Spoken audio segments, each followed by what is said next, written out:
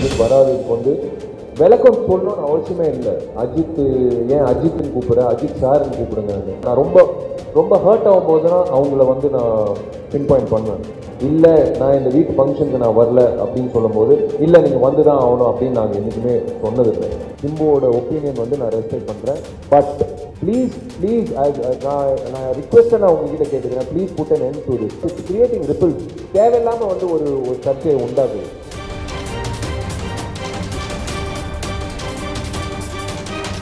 Sir உங்களுக்கும் நடிகர் சங்கத்துக்கும் அஜித்துக்கும் என்ன பிரச்சனை? நான் ஒன்று ஒன்றா கேட்கும் ஏன்னா ஓட்டு போட வரல பொதுக்குழுக்கு வரல கிரிக்கெட் விளையாட வரல. அப்புறம் அந்த மீம்ஸ் ஃபுல்லாக விஷாலுக்கு கண்ணீர் அஞ்சலி போஸ்ட் ஒட்டினாங்க இன்னொரு போஸ்டரில் விஷால் சாரும் நாசா சாரும் பிச்சை எடுக்காங்க நடிகர் சங்கத்துக்குன்னு நியூஸ் போட்டாங்க. உங்கள் விளக்கம் என்ன? என்ன பிரச்சனை? இதை பற்றி என்ன சொல்லுவாங்க?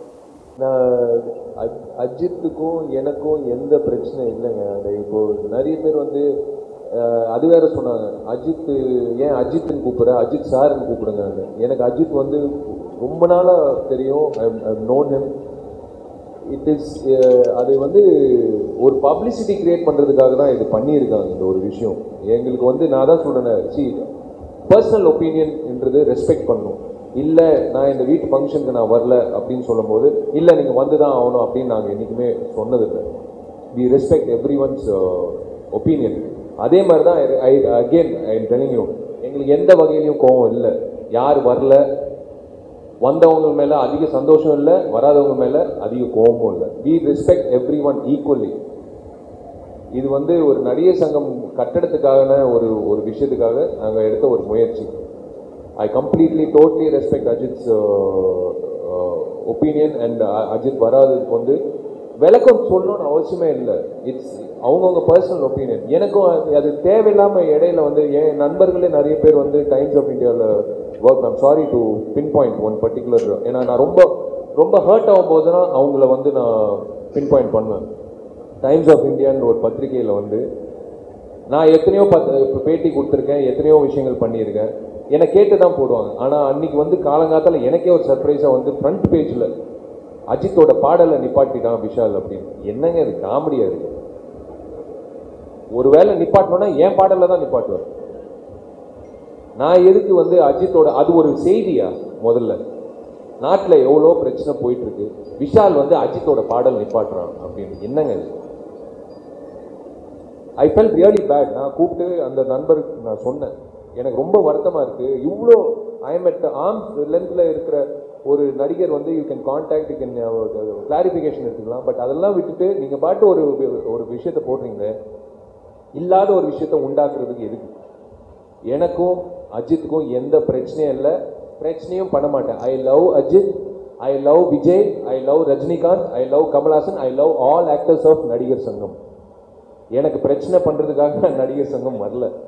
எனக்கு வந்து இந்த நடிகை சங்கம் மூலிமா அந்த கட்டடம் கட்டணும். அந்த கட்டடம் வந்ததுக்கப்புறம் ஆட்டோமேட்டிக்காக எல்லாருக்கும் தெரியும். விஷாலும் நாசரும் பொன்வனன் சாரும் கார்த்தியும் பதவியில் இருக்கணும்னு அவசியம் இல்லை. அது பாட்டு ஒரு பென்ஷன் போயிட்டு இருக்கும் அந்த கட்டடத்தில் வர வருமானத்தில் எல்லாருக்கும் நல்லது நடக்கும். அவ்வளோதான் எனக்கு வந்து இதை விட்டுட்டு இதை வச்சுக்கிட்டு நான் வந்து யாரோடையோ சண்டை போட்டு அதில் வந்து பப்ளிசிட்டி நான் அந்த வர்க்கம் சார்ந்தவன் இல்லை. நான் எனக்கு எனக்கு என்னை பொறுத்த வரைக்கும் அதான் சொன்னேனே எவ்வளோ சர்ச்சைகள். என்னை வந்து எங்கள் வீட்டு வீட்டில் இருக்கிறவங்க கூட திட்டினாங்க. சில நண்பர்கள். எனக்கு அது கவலை இல்லை. ஐ டோன்ட் கேர் ஏன்னா நான் பண்ணுறது வந்து ஒரு நல்ல விஷயத்துக்காக.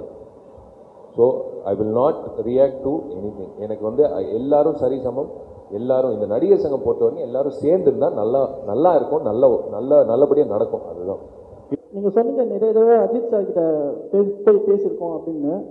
அப்போ பேசும்போது அவர் வந்து இந்த நடிகர் சங்கத்தில் கட்டுற நிதியை வந்து மக்கள்கிட்ட கலெக்ட் பண்ண வேணாம் நம்மளே போட்டு கட்டலாம் அப்படின்ற விஷயத்த உங்ககிட்ட பதிவு பண்ணாரா? அந்த விஷயத்தை பத்தி சொல்லுங்க. இல்லைங்க இல்லை இல்லை. அந்த மாதிரி பதிவுகள் இணையதளத்தில் வந்ததுக்கே தவிர தனிப்பட்ட முறையில் அவர் எங்களுக்கு அந்த மாதிரி தகவலையும் சொல்லல. இன்னொன்னு எங்களுக்கு தேவை பணம். அந்த பணம் ஒரு உறுப்பினர்களுடைய பங்களிப்போடு அந்த பணம் இருந்தா எங்களுக்கு மிக மிக சந்தோஷம்.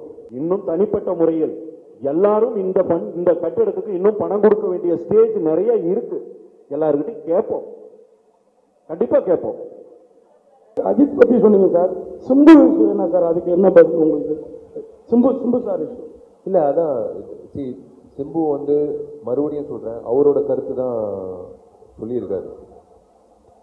இது வந்து நடிகர் சங்கம் வந்து it is not Andhra club ஒரு ஒரு லீக் கிளப்போ அந்த மாதிரி இல்லை. எனக்கு சர்வீஸ் பிடிக்கல நான் மெம்பர்ஷிப்லேருந்து விலகிக்கிறேன் அப்படின்னு சொல்ல முடியாது. இது நடிகர் சங்கம். எங்களுக்கே புதுசாக இருக்குது. ஃபஸ்ட் டைம் வந்து நாங்களே கேள்விப்படுறோம் இந்த விஷயம். But I respect again I respect சிம்புவோட ஒப்பீனியன் வந்து நான் ரெஸ்பெக்ட் பண்ணுறேன் பட் நாங்கள் எந்த வகையிலையும் தப்பு பண்ணல. மனசாட்சி தொட்டு நாங்கள் சொல்கிறோம் நாங்கள் எந்த தப்பும் பண்ணல. நடிகர் சங்கம் பொறுத்த வரைக்கும் அந்த நிகழ்ச்சி நடத்துறது வந்து முறையாக என்ன செய்யணுமோ அது வந்து செயல்பட்டோம். அது செஞ்சிட்டோம். நாங்கள் தப்பு பண்ணல. Still we want still again I'm Nassar sir சொல்கிற மாதிரி கார்த்தி சொல்கிற மாதிரி எல்லாரும் இது தவிர்க்கலாம் அவ்வளோதான் that's all I love him. I love him as a actor. I love him as as a, as a brother. But அவரோட ஒப்பீனியன் வந்து நான் ரெஸ்பெக்ட் பண்ணுறேன் பட் எனக்குன்ட்டு ஜெனரல் செக்ரட்டரியா எங்களுக்குன்ட்டு ஒரு ஒப்பீனியன் இருக்கு. ஒன்று சார். சார், ஒரு சிம்பு சார் விஷயத்தில் இன்னொரு சின்ன தெளிவு. இதுக்கு முன்னாடி நடந்த ஒரு ப்ரெஸ் மீட்டில் நம்ம எல்லாரும் இருந்தோம். அந்த இஷ்யூ அப்போ தான் வந்து வைரலாக போய்கிட்டு இருந்தது. அப்போ நடிகர் சங்கம் இதற்கு என்ன செய்ய போகிறது என்ன செய்ய போகிறது அப்படிங்கிற ஒரு கேள்வியை நீங்கள் எல்லாரும் வச்சிங்க.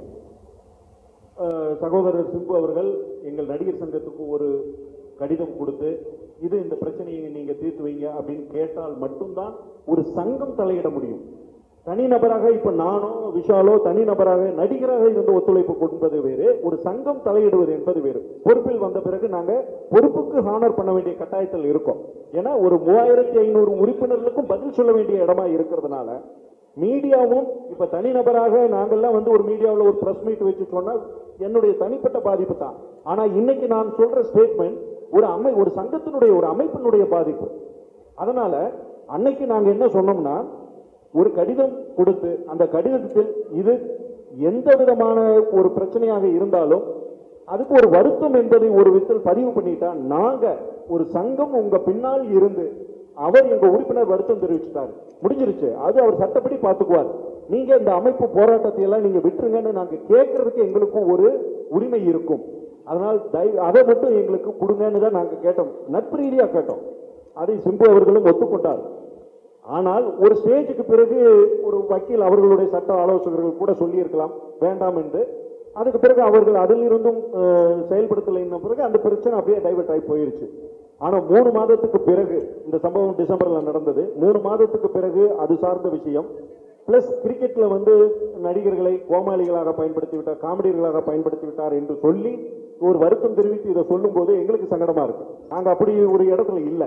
ஒருவேள் அவர் அவர் எந்த நோக்கத்தில் சொல்லி இருந்தாலும் சரி சிம்பு அவர்கள் எங்களுடைய சகோதரர் சிம்பு அவர்கள் இந்த சங்கத்தில் இணைந்து நம்ம எல்லாரும் சேர்ந்து ஒன்னா பயணிப்போம் அப்படிங்கிறது மட்டும்தான் எங்க நோக்கம். இதை பிரச்சனையாக்குவதோ இதை வந்து அரசியலாக்குவதோ எங்களுடைய நோக்கம் அல்ல. இன்னொன்னு அஜித் சார் வந்து இந்த நிர்வாகத்தில் இப்ப எடுக்கிற ந- இந்த மாதிரி நிகழ்ச்சிகளுக்கு மட்டும் கலந்துக்கல அப்படிங்கிறது இல்லை. கடந்த ஐந்து வருடங்கள் ஏழு வருடங்களாகவே அஜித் சார் வந்து நான் இந்த மாதிரி பொது நிகழ்ச்சிகள் கலந்துக்க மாட்டேன். விளம்பரங்களில் நடிக்க மாட்டேன். தனிப்பட்ட எந்த ஒரு நிகழ்ச்சியிலும் கலந்துக்க மாட்டேன்னு அவர் ஒரு கொள்கையாக வச்சுருக்காங்க. அதனால் இந்த நிர்வாகத்துக்கும் அதற்கும் ஏதோ பிரச்சனை அப்படிங்கிற மாதிரி நம்ம பார்க்க தேவையில்லை. ஒன்று ரெண்டாவது ஒவ்வொரு தனி நபர்களுக்கும் சில சுதந்திரங்கள் இருக்கு சில முடிவெடுக்கக்கூடிய உரிமை அவங்களுக்கு இருக்கு. இந்த ம- நிர்வாகத்தில் இருக்கிற எங்களுக்கு என்னன்னா எல்லாரையும் அரவணைத்து இப்போ அஜித் சாரை நாங்க வந்து பலமுறை சந்திச்சிருக்கோம். அப்போ அவர் அவருக்கான சூழ்நிலையை தெளிவுபடுத்தி இருக்காரு விவேக் சார் வீட்டில் வந்து ஒரு சந்த ஒரு நிகழ்ச்சியில் ஒரு நிகழ்வில் நாங்கள் இருக்கும்போது கிட்டத்தட்ட இரண்டு மணி நேரம் நாங்கள் எல்லாரும் அஜித் சாரோட பேசிக்கிட்டு தான் இருந்தோம். அப்போ பல விஷயங்கள் அவர் ஓப்பனாக எங்கள்கிட்ட பேசினது தான். அதனால் எந்த மனஸ்தாபமோ அல்லது நாங்கள் ஒரு எதிரி மாதிரி தீர்மானித்து அவர் எந்த முடிவும் அப்படியெல்லாம் எதுவுமே இல்லை. இதை திட்டமிட்டு ஊடகங்களில் வேறு மாதிரி பரப்பப்பட்டு கொண்டு இருக்கிறது அப்படிங்கிறது மட்டும்தான் உண்மை. அது சார் எந்த இடத்துல எந்த ஸ்டேட்மெண்ட்டுமே சொல்லலை. அப்படி இருக்கும்போது நம்ம அதை வந்து சீரியஸாக வந்து முக்கிய சாரி சார் முக்கியமான விஷயம் நீங்கள் எல்லாரும் நண்பர்கள் செல்லமே படத்துலேருந்து ஒரு நடிகனாக நீங்கள் வந்து எனக்கு சப்போர்ட் பண்ணியிருக்கீங்க. I would like to bring this issue journalism is going into a different tangent please தயவு செய்து நீங்கள் தான் அதை நிப்பாட்டணும். தமிழ் திரைன்னு ஒரு ஒரு வெப்சைட் இருக்கு. அவன் யாருனே தெரியாது. அந்த அவன் பேர் என்ன? அரவிந்தா ஏதோ ஒன்று ஒரு பேர் சொன்னாங்க. நீங்கள் தானே இல்லை இல்லை. தமிழ் திரை. ZH சொல்லாத ஒரு இன்டர்வியூ கொடுக்காத ஒரு இன்டர்வியூ வந்து தமிழ் திரை டாட் காம் அப்படின்ட்டு போடுறாங்க. அவரை கண்டுபிடிக்கிறதுக்கு இன்னும் கிட்டத்தட்ட நான் ஜான்சன் சாருக்கும் சொல்லியிருக்கேன். கமிஷனர் போலீஸ்லேயும் நான் கம்ப்ளைண்ட் கொடுத்துருக்கேன். ப்ளீஸ் நீங்கள் தான் வந்து please put a full stop ஏன்னா ஒருத்தர் வந்து வே- இந்த நிகழ்ச்சி சரியாக நடக்காததுக்கு தமிழ்நாடு மக்கள் தான் காரணம். விஷால் விளக்கம் விஷால் பேட்டி அப்படின்னு போட்டு போடுறாங்க. எனக்கே ஆச்சரியமா இருக்கு. அதுக்கப்புறம் வந்து அதை வந்து ரீட்வீட் பண்ணி அதுக்கப்புறம் வந்து அது பாட்டு வந்து போயிட்டு இருக்கு ஒரு பக்கம். என்னங்க இது? ஃபர்ஸ்ட் டைம் நான் என் வாழ்க்கையில் ஒரு நடிகனா வந்து நான் இந்த மாதிரி ஒரு ச- விஷயம் சந்திக்கிறேன். ஏதோ கேள்வி கேட்கணும்னா நான் டைரெக்டாக நான் பதில் சொல்லுவேன் விளக்கம் சொல்லுவேன் இன்டர்வியூ கொடுப்பேன். But what is this please please நான் நான் ரிக்வெஸ்ட்டை நான் உங்ககிட்ட கேட்டுக்கிறேன். Please put an end to this இந்த மாதிரி ஜேர்னலிஸ்ட் இந்த இந்த இந்த மாதிரி வந்து ஒரு ஃபேக் அதாவது யாருனே தெரியாத ஒரு நபரை வந்து ஒரு ஒரு ஒரு ஆர்டிக்கல் போட்டதெல்லாம் நீங்கள் தான் எல்லாரும் நிப்பாட்டணும். பிகாஸ் இட்ஸ் கிரியேட்டிங் ரிப்பிள்ஸ் தேவையில்லாமல் வந்து ஒரு ஒரு சர்ச்சையை உண்டாக்குது. I hate to address this thank you